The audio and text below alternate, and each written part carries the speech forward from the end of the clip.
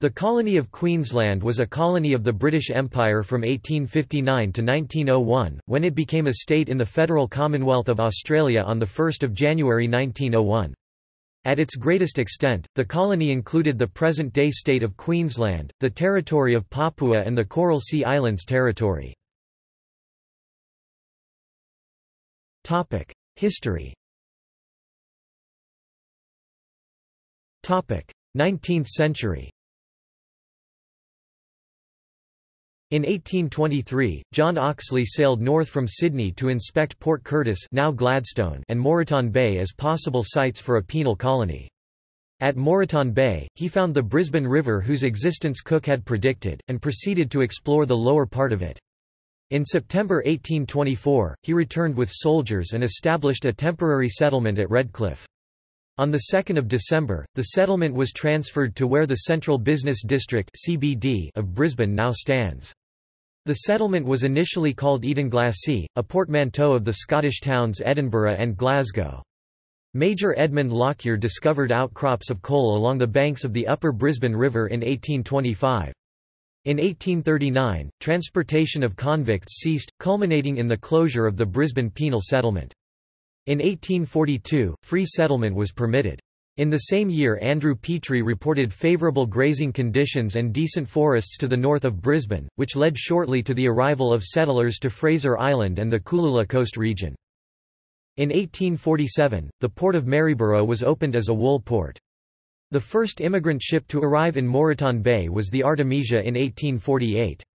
In 1857, Queensland's first lighthouse was built at Cape Moreton. Frontier War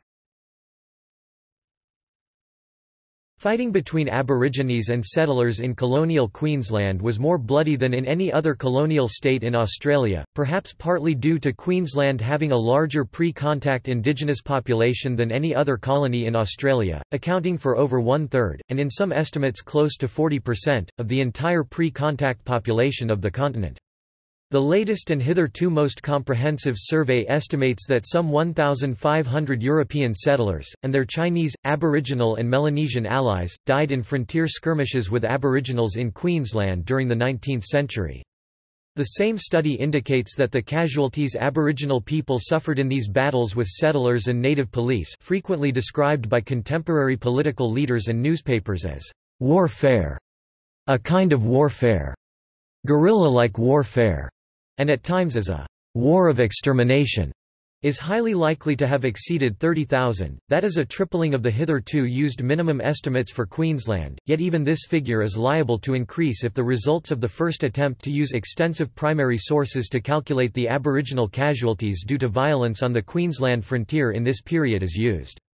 A paper prepared by Raymond Evans and Robert Orsted Jensen for the annual AHA conference at University of Queensland on 9 July 2014 indicated that a minimum figure of 65,000 Aboriginal casualties is a more realistic figure. The «native police force», sometimes «native mounted police force», Recruited and deployed by the Queensland government, was a key instrument in the oppression, dispossession and murder of Indigenous people during this period. The three largest massacres of whites by Aborigines in Australian colonial history all took place in Queensland.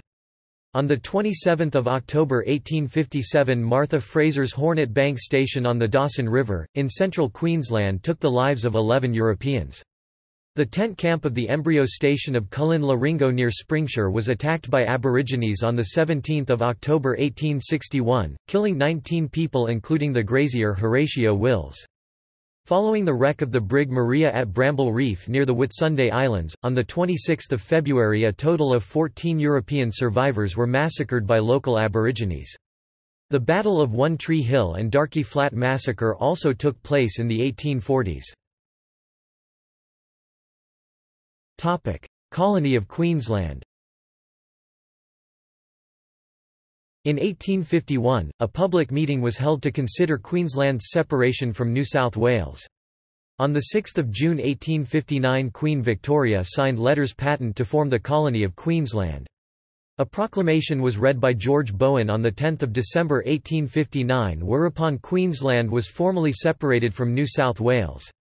Bowen became the first Governor of Queensland and Robert Herbert became the first Premier of Queensland. Queensland was the only Australian colony that commenced immediately with its own parliament, instead of first spending time as a Crown colony i.e. having a governor appointed by the Crown. By this time, Western Australia was the only Australian colony without responsible government. Ipswich and Rockhampton became towns in 1860, with Maryborough and Warwick becoming towns the following year. In 1861, rescue parties for Burke and Wills, which failed to find them, did some exploratory work of their own, in central and northwestern Queensland. Notably among these was Frederick Walker who originally worked for the native police. Brisbane was linked by electric telegraph to Sydney in 1861, however the first operating telegraph line in Queensland was from Brisbane to Ipswich in the same year. Gold Rush Although smaller than the gold rushes of Victoria and New South Wales, Queensland had its own series of gold rushes in the later half of the 19th century. In 1858, gold was discovered at Canoona. In 1867, gold was discovered in Gympie. Richard Daintree's explorations in North Queensland lead to several goldfields being developed in the late 1860s. In 1872, William Hann discovers gold on the Palmer River, southwest of Cooktown. Chinese settlers began to arrive in the goldfields. By 1877, there were 17,000 Chinese on Queensland gold fields. In that year, restrictions on Chinese immigration were passed. Topic: Other events 1862 saw Queensland's western boundary changed from longitude 141 degrees east to 138 degrees east. In 1863, the first Chief Justice, Sir James Cockle was appointed. 1864 was an annus horribilis for Queensland.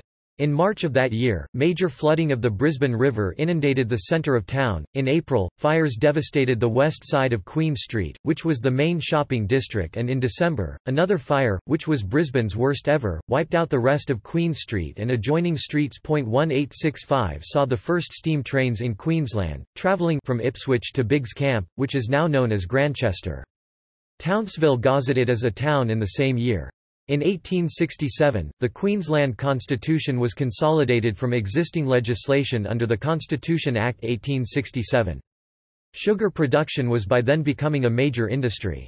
In 1867, six mills produced 168 tons of cane sugar. By 1870, there were 28 mills with a production of 2,854 tons. The production of sugar started around Brisbane, but spread to Mackay and Cairns, and by 1888 the annual output of sugar was 60,000 tonnes. 1871 saw George Phipps, 2nd Marquess of Normanby become the Governor of Queensland. The first record of a rugby match played in Queensland occurred in 1876. In 1877, Arthur Edward Kennedy became the Governor of Queensland. The first meat processed in the state occurred at Queensport along the Brisbane River in 1881. In 1883, Queensland Premier Sir Thomas McIlwraith annexes Papua, later repudiated by British government. On 2 June the decision to form a rugby union association was made at the Exchange Hotel in Brisbane. The same year Queensland's population passed the 250,000 mark.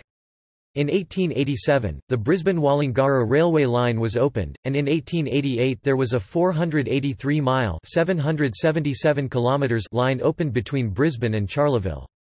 There were other lines that were nearly complete from Rockhampton to Longreach, and others being constructed around Maryborough, Mackay and Townsville. By 1888, there were more than 5 million cattle in Queensland, 1891 saw the Great Shearers' Strike at Barcaldine leads to formation of the Australian Labor Party.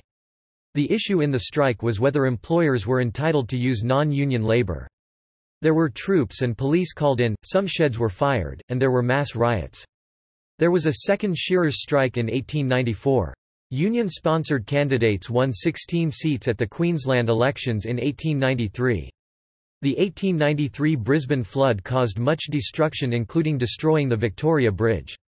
The land where the Brisbane Cricket Ground now sits was first used as a cricket ground in 1895, with the first cricket match played there in December 1896.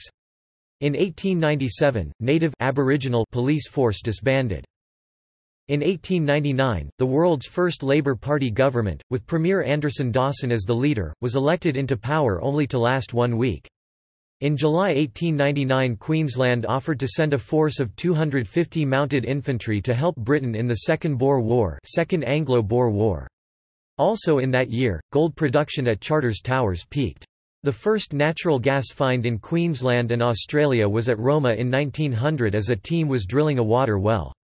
The Mahina cyclone of 1899 strikes Cape York Peninsula, destroying a pearling fleet in Princess Charlotte Bay. The cyclone claimed the lives of around 400 people, making it Queensland's worst maritime disaster. Immigration During the 1890s many workers known as the Kanakas were brought to Queensland from neighbouring Pacific Island nations to work in the sugar cane fields. Some of whom had been kidnapped under a process known as blackbirding. When Australia was federated in 1901, the White Australia policy came into effect, whereby all foreign workers in Australia were deported under the Pacific Island Labourers Act of 1901. At this time there were between 7,000 and 10,000 Pacific Islanders living in Queensland. Most of them had been deported by 1908, by which time there were only 1,500 to 2,500 remaining. European exploration and settlement Exploration In 1606, the Dutch navigator Willem Janszoon landed near the site of the modern-day town of Weipa on the western shore of Cape York. His arrival was the first recorded encounter between European and Australian Aboriginal people. In 1614, Luis Vaz de Torres, a Spanish explorer, may have sighted the Queensland coast at the tip of Cape York. In that year, he had sailed the Torres Strait, the body of water now named after him. In 1768, the French explorer Louis-Antoine de Bougainville sailed west from the New Hebrides Islands, getting to within a hundred miles of the Queensland coast. He did not reach the coast because he did not find a passage through the coral reefs, and turned back. Lieutenant James Cook claimed the east coast under instruction from King George III of England on the 22nd of August 1770 at Possession Island, naming eastern Australia, New South Wales. This included the present Queensland.